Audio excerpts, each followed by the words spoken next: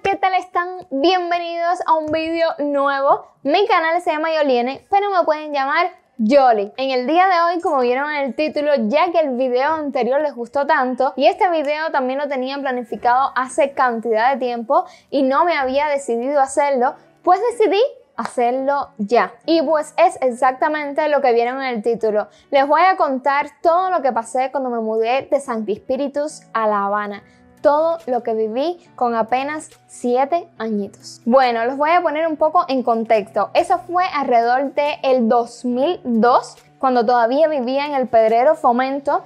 Y pues mi papá era rastrero y hacía viajes a La Habana. Aquí en La Habana yo tenía familia por parte de padre, pero por parte de madre también tengo, pero tú sabes, menos.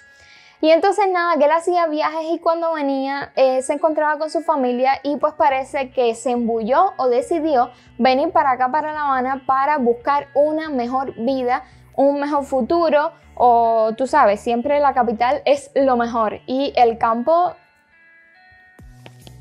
no, no lo es.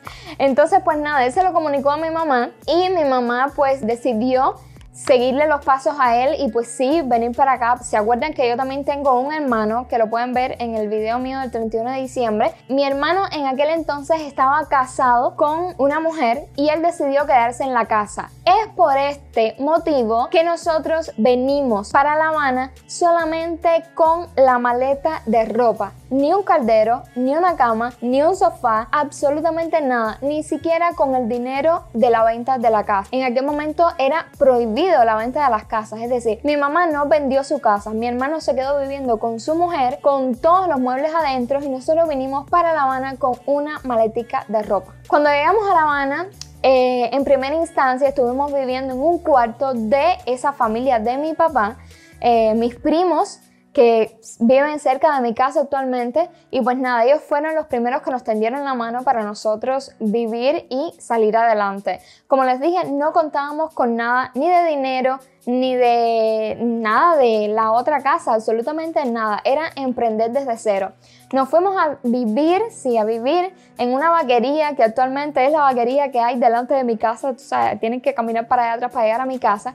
Y en esa vaquería, mi papá, como era soldador y hacía trabajo de mecánica y tal, pues empezó a trabajar de eso y eh, le pagaban un sueldo, pero en la vaquería, es decir, él pertenecía a esa empresa. Pero como ustedes saben, en una vaquería no hace falta ese tipo de empleados. Entonces, pues en determinado tiempo, pues tuvimos que irnos de ahí y es la historia que yo les hice cuando le mostré el house tour de mi casa que pues mi papá tuvo que buscar otra opción y mm, irnos para una casa de nosotros, porque eso era un medio básico. Medio básico se le dice aquí en Cuba a, eh, tú sabes, una casa que no es tuya, es del Estado. Entonces estás ahí prestado. Llega el momento que te vas a tener que ir. Y eso fue lo que nos pasó a nosotros. Estuvimos un tiempo ahí viviendo, pero luego nos tuvimos que ir para la otra casa que ese día yo les conté un poco de la historia. Mi papá tuvo que comprarle esa casita de madera, la desbarató completa y la trajo para acá, así mismo de madera y la hizo con holcones de hierro. Si no han visto ese video, se los voy a dejar por aquí, por aquí o por aquí o por donde sea, para que lo vean porque ahí van a poder conocer un poco mejor y van a poder ver imágenes de la casa. Pero nada, les cuento más de todo lo que yo pasé. ¿Y qué fue lo que yo pasé? Imagínense ustedes para una niña de 7 años venir de un lugar para otro que no conoces, donde existe otro acento. No sé si ustedes se han dado cuenta, pero en Cuba, como en muchos lugares, como por ejemplo en, México, que hay diferentes acentos, o en Colombia igual por los diferentes estados, pues aquí en Cuba pasa exactamente igual. Las personas de Oriente tienen un acento distinto al de La Habana y las personas del centro exactamente igual, otro distinto. Las personas de La Habana suelen ser... Em, eh, pasar por encima de las letras, que yo también lo hago. Muchas veces palabras que terminan en R no las termino en R, sino en L o, o, las, las cruzo por arriba, que muchas veces ustedes me dicen, ¿qué dicción? ¿Qué dicción? Porque lo digo mal. Pero las personas allá tienen otro acento. Bueno, pues imagínense yo del centro, porque San Espíritu queda en el centro, venían con otro acento. Y entonces cuando la gente, los muchachitos de mi aula me tú sabes, me veían hablando, se burlaban de mí, me hacían bullying, bullying, pero no fue realmente eso lo más que me impactó, sino el alejarme de mis amiguitos con los que yo compartía todos los días, que jugaba y venir a un lugar donde yo no tenía amigos, donde no tenía con quién jugar, con quién compartir. Esta es la escuela Juan Oramas y Arena, mi escuela primaria donde yo estudié. Otra cosa que me impactó muchísimo era que no teníamos prácticamente dinero para nada. Creo que mi papá cobraba alrededor de 200 o 400 pesos cuando aquello no sé bien. E imagínense que la merienda mía para la escuela, eh, me acuerdo como si fuera ahora que también se les enseñó en otro video, había una guarapera donde vendían panes con jamón y queso. Y unos eran a 7 que era con jamón y el otro con jamón y queso a 10 pesos. Imagínense cobrar un salario para una familia entera de mi mamá y yo y mi papá, por supuesto, 200 pesos y la merienda nada más saca en cuenta mínimo 7 pesos diario por un mes, ¿cuánto dinero es? Es decir, el dinero era muy, muy, muy poco.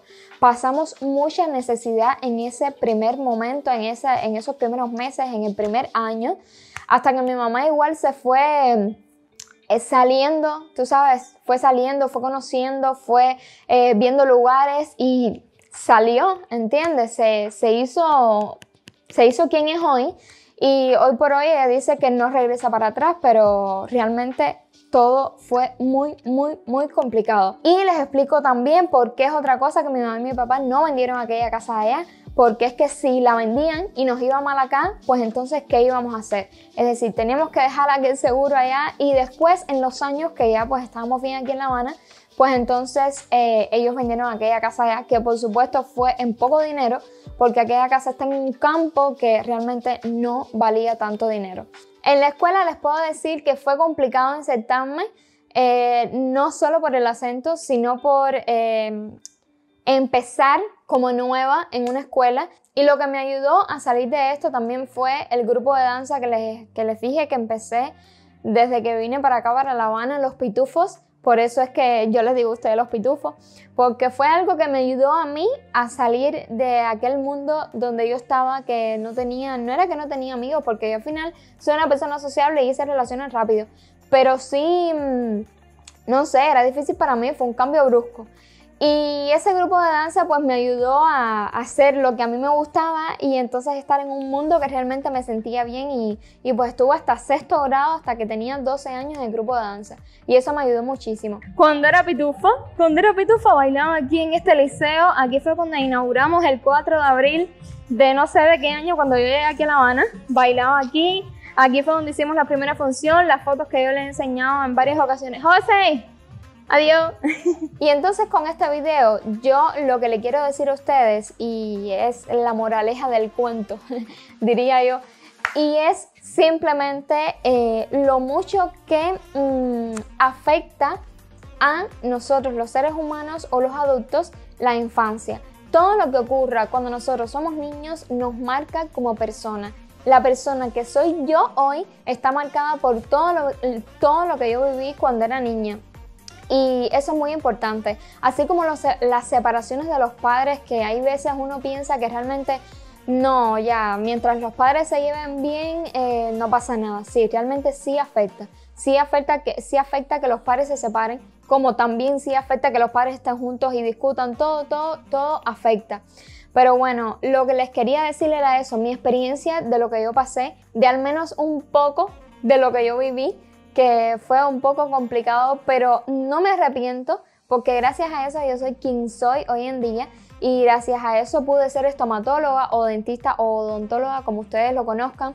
Eh, en el campo el estilo de vida es diferente, las mujeres se casan temprano, paren temprano y yo eh, en este estilo que tengo un poco para acá he decidido primero emprender, eh, desarrollarme yo como persona profesionalmente y después pues entonces poder hacer una familia cuando esté preparada realmente. Y entonces allá es diferente, por eso se los digo. No me arrepiento de haber venido para acá, estoy orgullosa eh, de haber venido para acá y de haber logrado todo lo que logré. Pero bueno, nada, era la experiencia que les quería comentar de todo, todo lo que pasé y que realmente no fue fácil, pero gracias a Dios estoy aquí.